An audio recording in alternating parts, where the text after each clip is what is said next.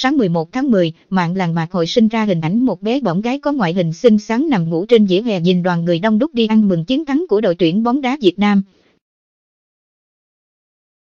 Hình ảnh bé bỏng gái sinh ra trên mạng làng mạc hội gây xót xa.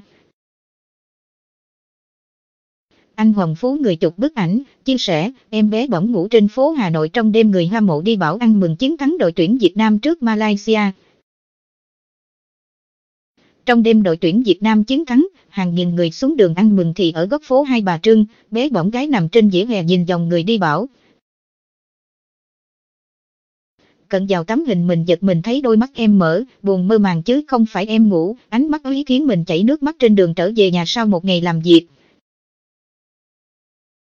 Hình ảnh khiến nhiều người rơi nước mắt. Em bé bỏng cùng mẹ và đứa em sống lang thang trên phố Hà Nội vài năm nay rồi. Mùa đông sắp đến, em cần một mái ấm. Đêm nay mình chắc không ngủ được gì ánh mắt ấy. Hình ảnh em bé bỗng sinh ra trên mạng làng mạc hội đã khiến nhiều người đông đã chia sẻ, xót xa.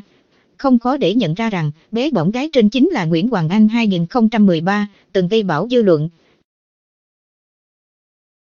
Hoàng Anh từng gây sốt vì cách phối đồ quần áo cũ cực chất,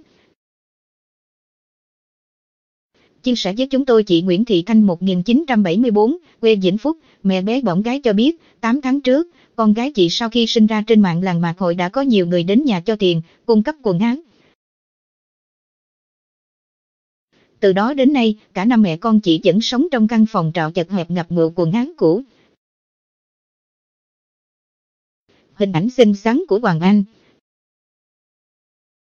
Lúc con gái thế hệ được cho lên mạng làng mạc hội nhiều người đến cho tiền, mong muốn cho cháu đi học thời trang nhưng sau đó không thấy quay lại. Từ đó đến nay cháu vẫn ở đây và đêm nào cũng theo mẹ đi bán hàng đến hơn 2 giờ sáng thế hệ về.